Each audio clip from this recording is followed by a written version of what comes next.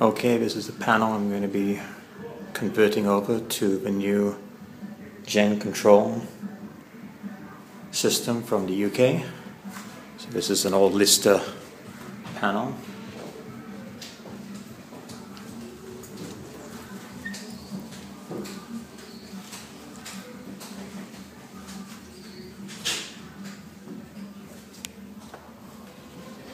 I've looped the power through so that I can work on everything without having anything energized. These are the old contactors. Here are the old control circuitry and various relays. Going to be removing all of that. Going to be leaving the regulator up there and the battery charger which is right there. The mains fail relay will also be going. I've already started to cut these out. These are the low oil pressure send, um, switches. Um, the rest of the circuitry will pretty much remain, the rest of the, the cabling and the various meters. But pretty much everything is going to be gutted up from that to be replaced by two little modules. Amazing. Okay, well I've removed quite a bit of the old relays and quite a bit of wiring. So anyway, I'm just seeing what else I might be able to remove. So far it's looking pretty good. Yeah, I guess I. Okay, well I'm almost done. I've pretty much done all the wiring that I need to do. The only things left to done is just to put um, positive 24 volts power to each of the modules. I just need to get a couple of inline fuse holders for that. Um, everything else is wired up at the moment all the wiring is just hanging loose at the moment because I just want to double check and go for everything before I start zip tying everything up. But I've removed all the old extraneous equipment. Still need to put that back plate back on there so I can secure those terminal blocks. So there's another number one of those white back plates. That's it down there with some of the old equipment.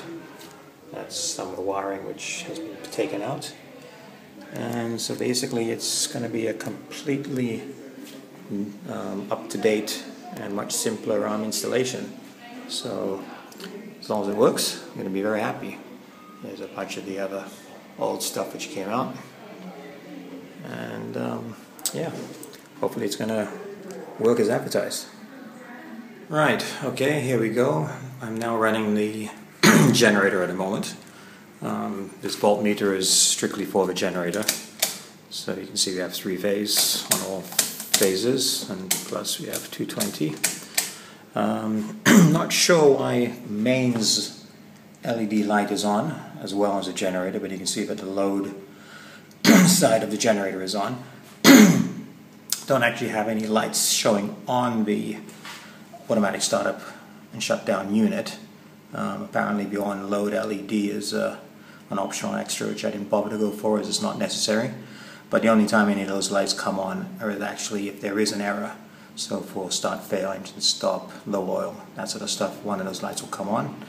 at the moment it's on auto. That's my disconnect main switch at the moment, which is off. And just open this up. we can see that the mains contactor, which is that lower one, is closed. I'm not sure if you can sort of see that, uh, but that's the generator contactor which is open. This is the completed installation and the wiring. Uh, put the back panel back. So everything is basically done there now. And let's just see what happens now when I throw the mains back on. So let's put that up. Okay, so now we see the mains light flashing to show that there is power. Obviously it's checking to make sure that it's analyzing and that this voltage is stable. I have given it, I think, uh, four, well, there's a 20 second delay built in. Okay, there goes the generator. We're now back on to mains. The generator should continue to run for 40 more seconds as a cooldown period. So, looking good. At the moment now, the mains contactor is now closed as we can see and the generator contactor is open. So I call that um, a success. Excellent.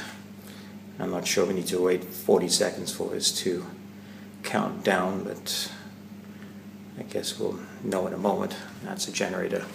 Power is still available there. We Just put it across a couple of phases. So this should shut down in a few seconds. There it goes. So the voltage is gone. Generator light is still on, and there it's okay. I think um, that's a good result. Okay, all right.